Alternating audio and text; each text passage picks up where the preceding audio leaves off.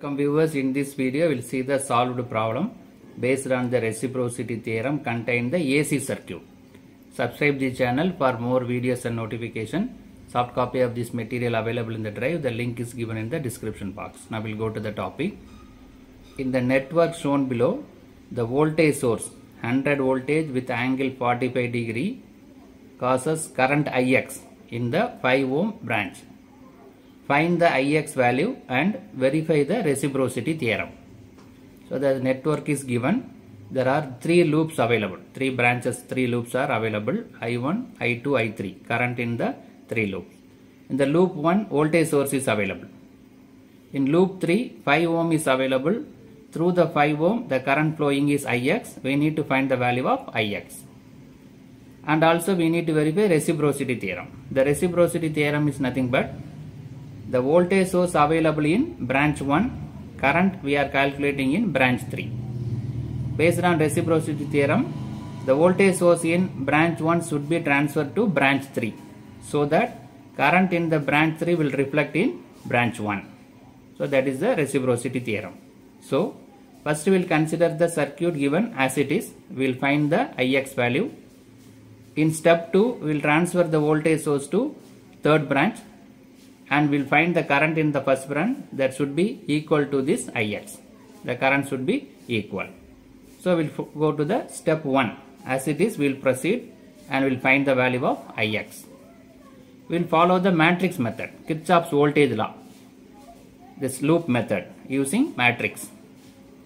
B equal to I into R. This is voltage matrix, current matrix and resistance matrix. We have three loops are available. Loop 1, loop 2, loop 3. I1 is the current in loop 1, I2 is the current in loop 2, I3 is the current in loop 3. This I3 is nothing but Ix. The current I3, the same thing is flowing through I, I 5 ohm resistor that is also Ix. What we need to find is Ix that is nothing but I3. First we will frame the voltage matrix. So this is nothing but R11. R11 means resistance that is impedance available in loop 1 that is 10 plus J5 then R12 the impedance available between loop 1 and 2 that is this J5 J5 is available between 1 and 2 minus J5 then R13 resistor available between loop 1 and loop 3 there is there is no uh, contact between loop 1 and 3 that is 0 then R21 the impedance available between second loop and first loop. That is J5 minus J5 right? Other than diagonal all elements are minus. Then this R22 the impedance available in the second loop. This 10 ohm minus J5 ohm plus J5 ohm. Then this is R23 the impedance available between second loop and third loop. That is minus J5 so already one minus we need to put.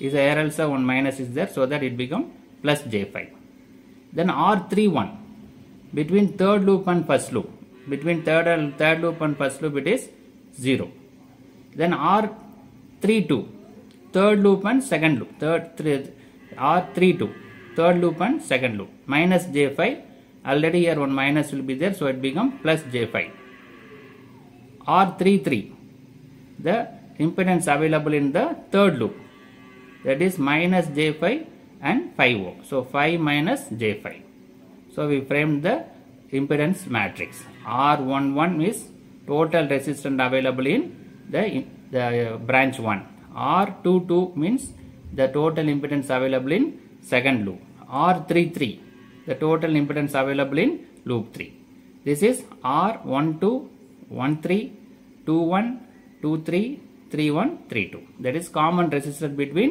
first loop and second loop first loop and third loop like that. Other than diagonal all are negative.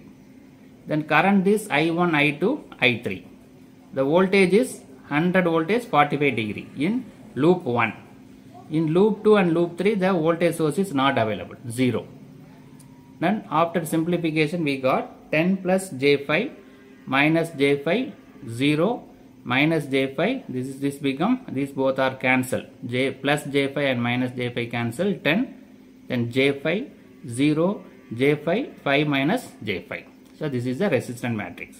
So our aim is to find Ix that is I3. So we need to find del value and delta 3. I3 equal to delta 3 by delta. So this is nothing but delta. This matrix is nothing but delta. By replacing the third column with the voltage matrix will give delta 3. So first we will find delta. We will replace third column with voltage matrix. Then we will find delta 3. From that we can find I3.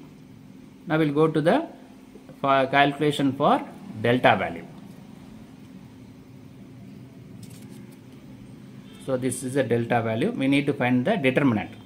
10 plus J5 multiplied by 10 into 5 minus J5 minus J5 into J5. So this is given. Already here minus is there. So minus of minus J5. You have to multiply these two. Minus J5 into 5 minus J5 minus J5 into 0. This third element is 0 so no need to worry about that become 0. Now we'll go for further simplification. 10 plus J5. This 10 is multiplied inside. So 50 minus J50. Here minus J5, J5. So the J square 25. 5 into 5, 25. Then these two minus is there. Here also minus it become plus. So it's uh, multiplied inside. Minus J5 into 5. So minus J 25. Minus J5 into minus J5. So it is plus J square 25. We know that J square value is minus 1. We will substitute that. 10 plus J5 into 50 minus J50 minus of this J square is minus 1 into 25 plus J5 minus J25 plus this J square is minus 1 25. Now we can go for further simplification. 10 plus J5 50. So this uh, here also one uh, J uh, J50 plus 25 uh, minus available two times so it is plus 25 plus J5 minus J25 this is become negative now minus 25. Now we'll go for further simplification. 10 plus J5 into 75 50 plus 25 75 minus J50 plus J5 into minus J25 minus 25 right we'll go for further simplification. Now we'll multiply inside this. 10 plus j5 is multiplied inside. So that's 750 first multiply with 10 750 minus j500 then multiply with j5 plus j375 minus j square 250 5 into 50 250 minus these are these the j5 also multiplied inside. Minus j square 125 minus j 125 right? So the further it is simplified 750 minus j 500 plus j 375 plus 250 plus 125 minus j 125 now we'll add all the real terms. 750 250 and 125 1200 and 1125 minus j 500 plus j 375 minus j 125 you have to add all this imaginary term that is minus 250 so now we'll calculate the delta value. Is 120 100 and 125 minus j 250 now we'll go to the delta 3 value because we need i3 so it is enough to find delta 3 delta 1 delta 2 not needed right? So this third column is replaced by the the third column is replaced by voltage matrix. Right? So these two values are 0 not uh, j5 it is 0 this is also 0 this is also 0 so that will go like this. 100 into 100 with angle 45 will take this. So that will multiply these two and these two. Minus j5 into j5 minus of 10 into 0 so that also become 0 right? No no need to go here. Normal procedure. Because these two values are 0 we will take this element and will multiply these two elements. Right? So 100 angle 45 this is minus j5 into plus j5 right? Multiplying these two. So minus j square 25 j square is minus 1 so it totally it become plus. Right? 25 so 25 into 1000 2500 with an angle 45 degree so the delta 3 value is 2500 with an angle of 45 degree right now we'll find the i3 value so I3 equal to delta 3 divided by delta. Delta 3 is 2500 with an angle 45 degree. Del value is 1125 minus J250. For the division, we need to divide this. For that the rectangular form is needed. If it is rectangular form we can divide. So this is available in sorry polar form. Polar form is needed. This is already in polar form. Polar form means magnitude and angle. But this is available in rectangular form. It should be converted into polar form. That is magnitude and angle. How to find the magnitude? Square root of 1125 square plus minus 250 square. Right? We have to square this value and square this value. We have to add and take the square root. That will give the magnitude. That is 1152.44. How to find the angle? Tan inverse B by A. Imaginary term divided by real term. So tan inverse minus 250 divided by 1125. That is minus 12.53 degree. Now both are in polar form. Division means you have to divide this. 2500 divided by 1152.44. That is 2.169 ampere. Right? The angle is you have to subtract. 45 minus minus of 1 minus minus 125.3 sorry 12.53 so while taking 45 minus minus it become plus. So that 57.33 so the ix value. I3 is nothing but ix both are same. 2.169 with an angle 57.53 right? So division means these two magnitudes are divided these two angles are subtracted multiplication means the angle should be added so 45 minus of minus 125. So it become plus. So 45 plus 12.53 so that it is 57.33. Now we calculated the Ix value. That is one of the question. Now we need to verify with the reciprocity theorem. Right. Now we'll go to the step 2.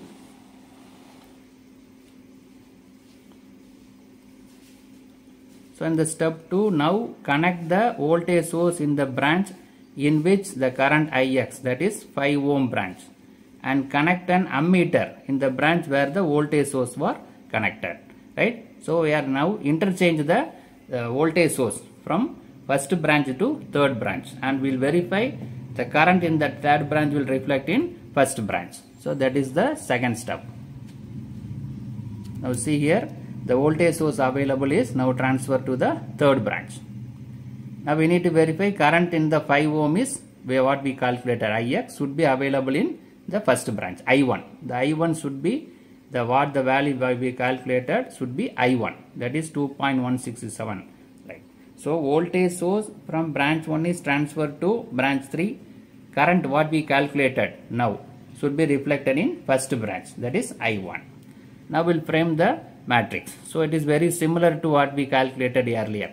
10 plus j5 all the networks are same. This is branch 1 uh, loop 1 loop 2 loop 3 right? All the values are same. 10 plus j5 r11 minus j5 0 minus j5 10 plus j5 minus j5 j5 0 j5 5 minus j5 right? Then i1 i2 i3 only the voltage is different. In the first loop voltage is 0. 0 second loop also voltage is 0 third loop we have 100 voltage with 45 degree right so this is R11. R11 means the total resistor in the loop 1. R12 the total resistor in the second loop J5 plus J5 minus J5. This is R1 R33 the total resistor in the third loop minus J5 plus 5. 5 minus J5. This is R12 a resistor available between 1 and 2. This is R13 resistor available between 1 and 3. There is no connection so that it is 0. What we calculated similar. Only the voltage is uh, voltage matrix, the voltage available in the third loop. Right. So this is the simplified form. In this we need to find the again current value. If the current through AB is same as the value of Ix in step 1, we can say that reciprocity theorem is verified. To now we will calculate the current. Now we need to calculate I1 current. Earlier we calculated I3. Now we need to calculate I1. I will go to the calculation for I1 current. So to find the I1 current first we will find the delta value. So it is very similar to what we calculated earlier.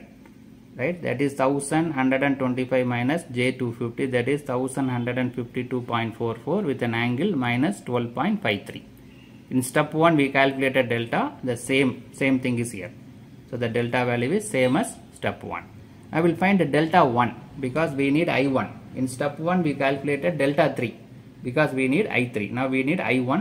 So we'll calculate delta 3. So replace the first column with the voltage matrix. Right. So here also change is there. In uh, step 1 voltage is available here. These two elements are 0. Now there is no voltage source in first and second loop. Only third loop. So that 0 0 100 with an angle of 45. Now we'll take this 100 angle of 45 so that we have to multiply these two values. J5 minus J5 into J5 minus of 0 into 10. Right? If you take this value, you have to leave these two columns. You have to multiply these two values. Right? So that 100 angle 45, this is nothing but minus J square 25. J square is minus 1, that is 25. So 100 into 25, 2500 with an angle of 45. So this del 1 value also very similar to the previous case. What we calculated del 3. Right? 2500 with an angle of 45. Now we'll find the I1 current. That should be equal to the what the current what we calculated in step 1. So delta 1 divided by delta 2500 with an angle 45 degree. Delta is 1152.44 with an angle of minus 12.53. See both are available in polar form magnitude angle magnitude and angle. So we can divide this value 2500 divided by 1152.44 that is nothing but 2.169. The angle we have to subtract division mean we have to subtract 45 minus minus of minus 12.53. So it become 45 plus 12.53 that is 57.53 ampere. So the I1 value is 2.169 magnitude with an angle 57.53. So this is very similar to I3 or IX. So that I1 in the step 2 is equal to IAB that is equal to IX. Right? The current what we calculated in step 1 is same as what we calculated in step 2 also. So that reciprocity theorem is verified.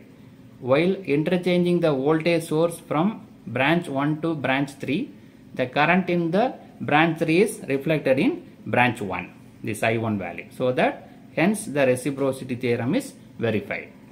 Subscribe the channel for more videos and notification. Soft copy of this material available in the drive. The link is given in the description box. Thank you for listening.